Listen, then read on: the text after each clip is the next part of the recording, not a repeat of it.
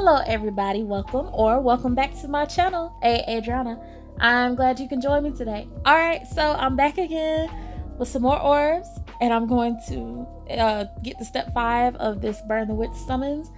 So hopefully, I uh, I know on step five for sure I'll get a five star character, but hopefully on step four I'll get one too. So let's do the draw. Oh, don't be lagging today.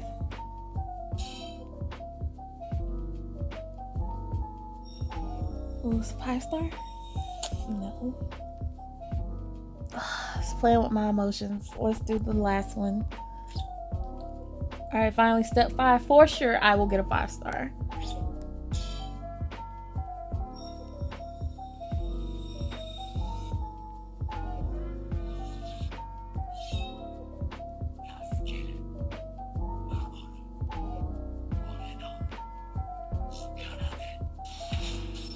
Oh, I think I already have this. Each guy like, who is this?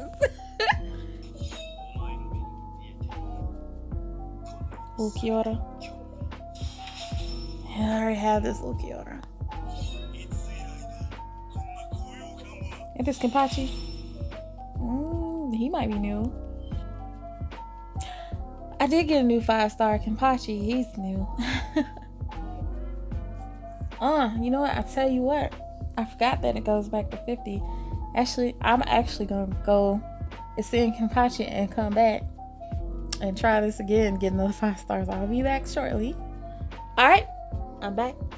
I got some more orbs. Let's do these next two steps and then I'll probably call it a day if I don't get a five star. Even if I do, probably call it a day. okay, let's do it.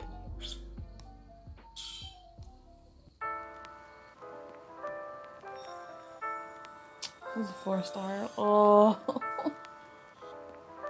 this is a consistently bad, like, summons for me. Ugh. Alright, so finally, we're at the final summons of this Burn the Witch collaboration. Well, the final summons I'm going to do. Step seven. So let's see if I actually get a new character. Not optimistic.